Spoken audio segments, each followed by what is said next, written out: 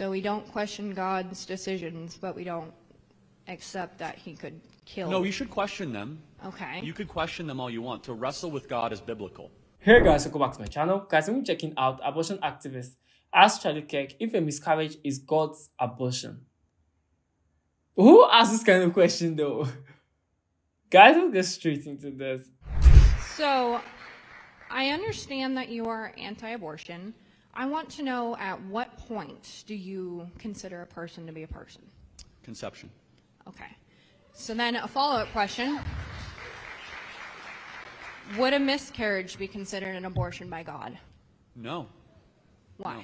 Well, first of all, we don't question God's plans when it comes to life or death. Only He, the author of life, know the purpose. But it's an accidental death, yeah. I mean, it's a tragedy, but no, it, it was not an abortion by God. No. So we don't question God's decisions, but we don't accept that He could kill. No, you should question them. Okay. You could question them all you want. To wrestle with God is biblical, but to usurp Him is not.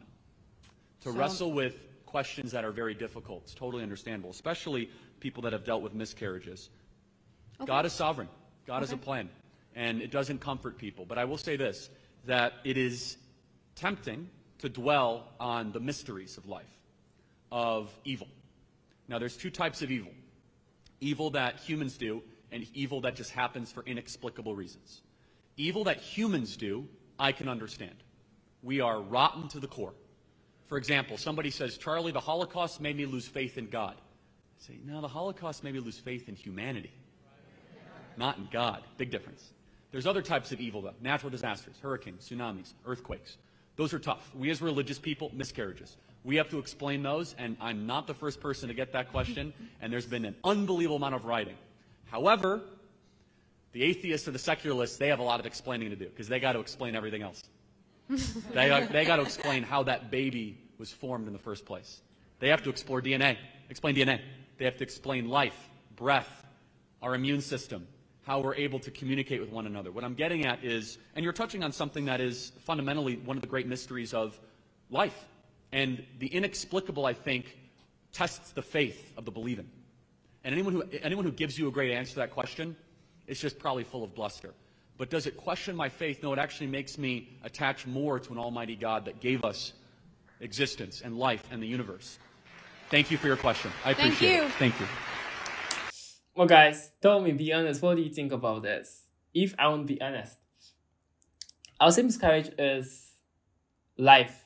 Life is not fair, and no one gets it perfectly. And I honestly believe that God gives and He takes. Well, see, one thing I've come to understand is that you don't judge God's actions.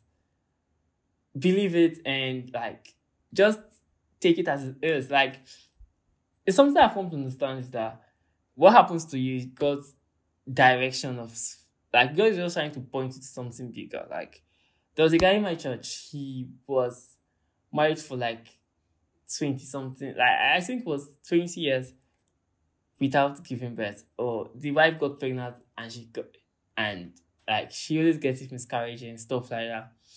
Then later it happened. She gave birth to twins and she gave birth to a boy again and it was just amazing. The full church was filled with joy. Like seeing the man glow every sunday was just amazing. I honestly believe that god is the author and finisher of our faith.